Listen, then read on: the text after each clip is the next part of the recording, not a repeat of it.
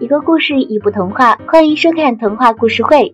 俗话常说，近朱者赤，近墨者黑。可是今天小编就要给大家带来一个不一样的故事。一个死神的儿子竟然想要做一个天使。阴森的城堡中，死神和他的儿子正待在房间里享受美食。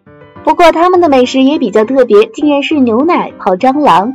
吃完饭以后，两个人洗漱完毕，死神就夹着自己的公文包，准备出门上班了。可就在这个时候，他看到自己的儿子竟然在看一些温馨的小动画片。作为死神的儿子，自然应该变得高冷一点才是。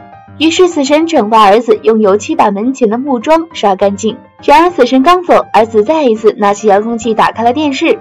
死神走在路上，不停地收割着人头，有的是出车祸的人，有的是不小心从楼上坠落下来的人，当然更多的是在医院里收割的人头。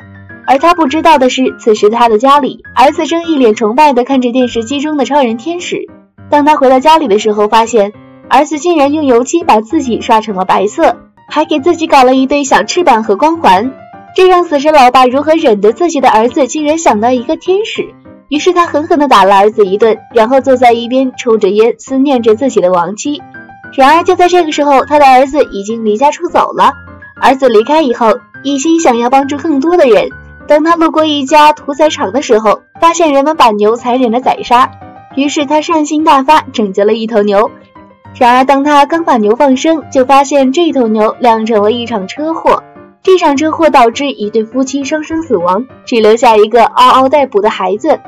小天使般的死神之子想要拯救这个家庭的美好，于是他强行把灵魂给两个人塞了进去。这下可不得了了。一时间，天空中阴云密布，这两个人竟然变成了僵尸，还把自己的儿子也给咬成了僵尸。而且，当他们看到过路的行人时，也忍不住想要去咬上那么两口。就在这一切即将乱套的时候，死神突然出现，他用自己的魔法帽子把几个僵尸的灵魂收了起来。当死神看到自己儿子内疚的眼神时，他选择了原谅儿子。当然，这一次小儿子也终于明白了父亲工作的意义。从此以后，他跟随着父亲一起收割那生命走到尽头的人们的灵魂。这份工作虽然看起来不那么美好，可其实人的生命总有走到尽头的一天。死神是终结，却也是另一条生命的开始。只有勇敢的面对死亡，才能够让更多的人获得重生啊！好了，今天的故事就讲到这里啦。喜欢童话故事的朋友，关注留言并加转发哦。